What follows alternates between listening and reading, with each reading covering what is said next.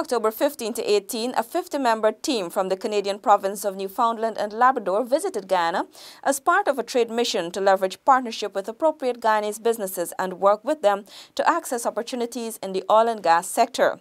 In this week's edition of InfoHub Extended, we take a look at some of the engagements the delegation had during their mission.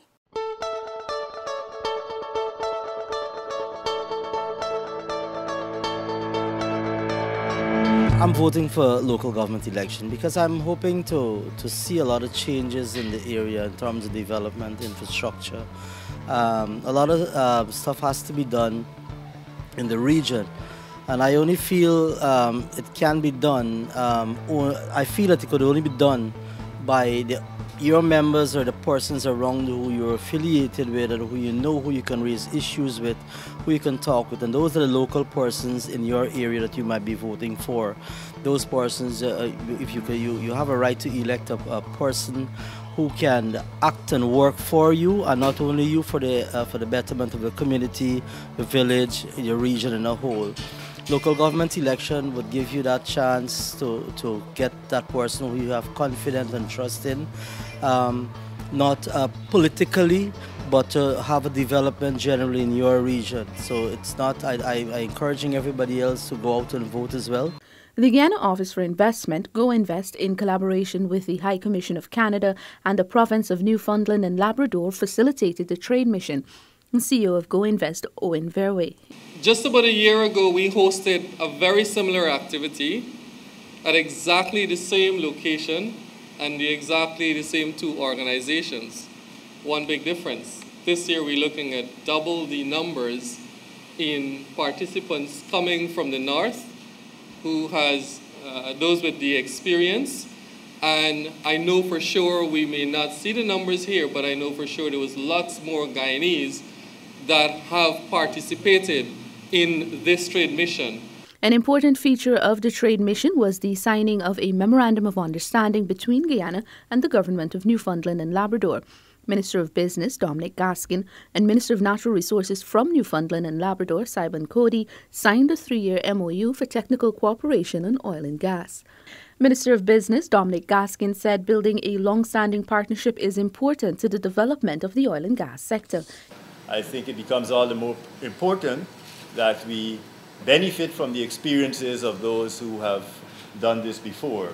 So with that in mind, I am grateful for the opportunity to have our, to share experiences with the government of Newfoundland and Labrador as well as the private sector. Minister Coady also stressed the importance of partnership in maximizing opportunities in oil and gas. And I know that working together, I know that one of the things that we in Newfoundland and Labrador uh, uh, did in our early days of developing our offshore oil and gas industry was work with joint ventures and others that had had that experience and so that we could develop and do that knowledge transfer and that's what we're here today to work with you uh, to, to give you the experiences that we have so that you can, uh, you can build and grow your opportunity here in Guyana.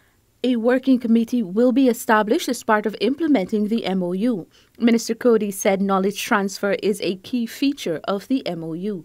Certainly is a great opportunity for the Guyanese and, and the Guyana people to really enjoy the, pros, the prosperity that comes with oil and gas development and how important it will be for, I think, the continued uh, opportunities for the people of this great, prov- this great country.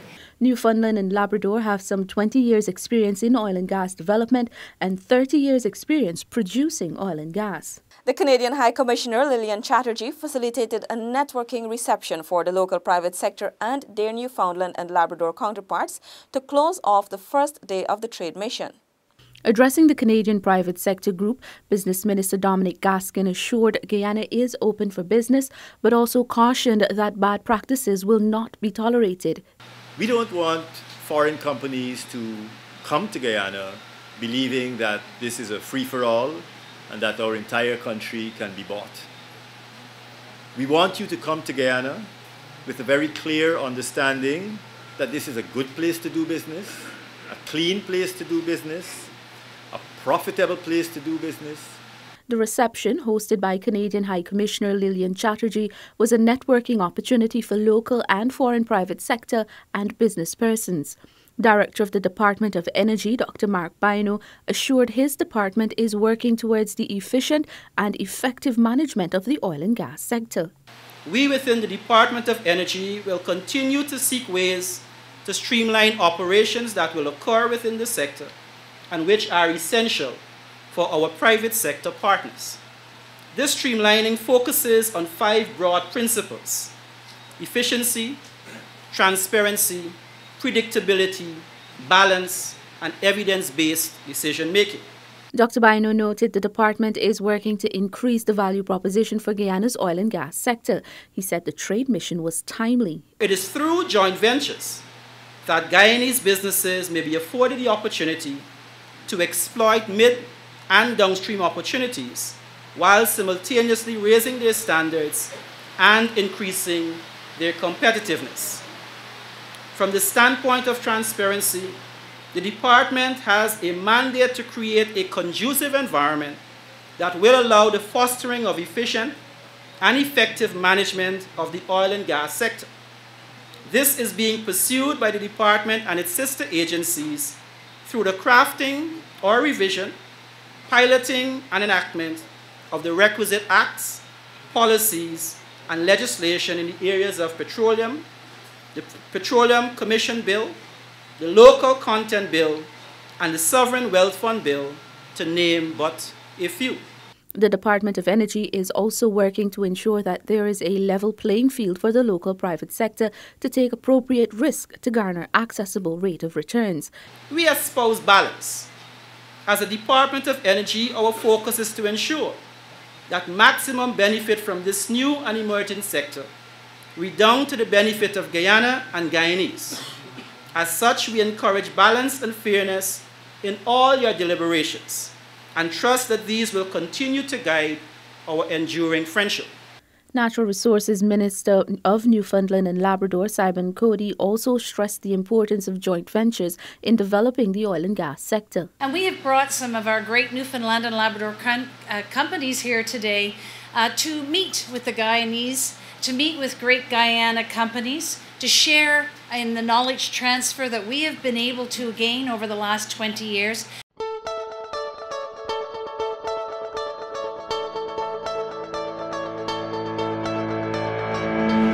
I'm that we all should go out and vote at the local government elections because it's important for us to choose who we would like to have be making decisions on our behalf.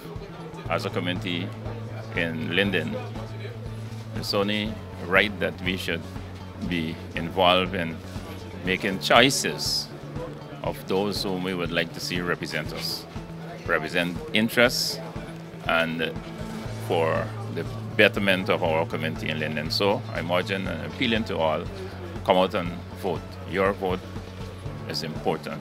Every vote counts. Day two of the trade mission saw the Newfoundland and Labrador and Oil and Gas Industries Association sharing experiences with Guyanese and fielding questions. The event was held at the Umana Yana. The audience engaged the Newfoundland and Labrador Oil and Gas Industries Association, commonly referred to as NOIA, and Minister of Natural Resources from Newfoundland, Siobhan Coady. Developing local content capacity were among the concerns raised by Guyanese. Minister Coady noted collaboration with industry operators is critical to filling existing gaps in skills training. Because you have to address the gaps and the needs requirements. Uh, and I know that the operators are quite keen to, uh, to ensure that they have the right training modules as well. So I think that as, as you move forward, you'll be working with other partners around the world to ensure you address the education gaps that you may have because there is very specific skills required for the industry. The minister was also quizzed on how her province avoided the resource curse. Minister Coady noted that planning for growth and development is a positive challenge to have. As you move through your journey with having more royalties and more taxation acquired by the government, um, by having more investments made through the supply and service industry, you too will start to see that kind of growth and development and prosperity coming, you know, coming to your communities. And I think to, to, to say that it's a, a, it's a positive challenge to have to worry about how you maintain and, and ensure that growth is, is effective, that it's positive. And I know that you have some very learned people that are considering this. You Apart from their engagement with the general public, more than 12 partnerships with local companies were established during the trade mission. Member of the board of directors of the Newfoundland and Labrador Oil and Gas Industries Association, Michael Critch, noted the level of interest in the local oil and gas sector has increased profoundly. Our delegation has, has grown significantly from last year uh, to this year, with the number of companies coming uh, near doubling. And I would also add that um, you know the interest from Guyana people and the interest from Guyana businesses is, has increased profoundly. There's a lot more activity. There's a lot more oil found here now. It makes it a lot more prolific and kind of exciting, not only for Guyanese people but for oil and gas industry businesses around the world to try to figure out if there's a place here or if there isn't a place here for us to partner or joint venture with local companies. Critch stated that participants will contribute to developing local content, giving NOIA's experience in the oil and gas sector. We hope that we can kind of pay it forward. You know, you guys are trying to learn what do we need to do in industry to so that it can have an impact on my life, you know, as a Guyanese person. So you're trying to find your place, and, and the only way for it to really work is to get involved, learn how to get into the industry, and it will affect people directly and it will affect people indirectly. But partnerships can be the best way to get those skills quickly because if you find the right partner with the right value system and the right feelings as you, they will quickly transfer their skills to you and then you can take that and expand uh, your own horizons, your own knowledge in Guyana, and probably in, in a few years be able to pass it on to the next jurisdiction. One of the local companies that benefited from the partnership during the trade mission was Action Invest. CEO Vishnu Durga said the company has been serving the Guyanese market over the past four years. Now, the company is working with a Canadian company, NSB Energy, to improve its operations to service the oil and gas industry. Just about a month ago, we were able to finalize our joint venture and set up NSB Omega in Guyana, which is a majority Guyanese owned company and because we've seen how partnerships have worked to really give uh, Newfoundland its capacity from some 20 years ago to today. So we know that in Guyana, you know, we're not going to arrive at local content on day one. It takes building local capacity. Uh, we've been doing that, and we see this as a huge step for us um, in terms of being able to deliver these services to the market.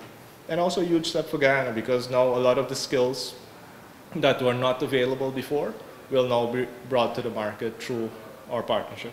Critch, who is also the CEO of NSB Energy, related to the challenges in local content Guyana is faced with. Uh, I myself have been in the oil and gas industry as an engineer for some 25 years now, and I can say that back then, uh, at the very infancy of the offshore oil and gas industry in Canada, we lacked the skills, we lacked the understanding of the industry uh, that you probably are facing somewhat in Guyana. So we understand, we've been there, we've kind of been through it, and we learned a lot of lessons. So um, now, as we look to expand our horizons, having worked with ExxonMobil for many years, our business is technical staffing. So we hire project management personnel and engineering personnel and all the, the, the technical uh, skilled workers that work within the industry and then we, we utilize those uh, skills either offshore or onshore in building the industry.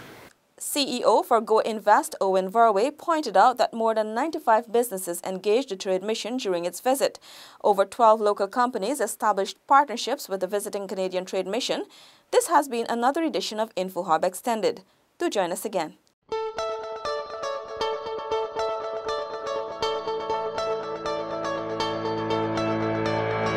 The reason why I would encourage people to come out and vote for the local government because your voice have to be heard.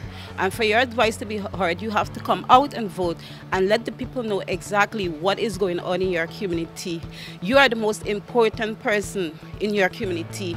And without you, the head of government and other people who are responsible for the communities would not know what is going on in the community. So we need to come out and vote to show that you have interest in your community and you would like to see your community move forward and also to explain what you need to be done in your community.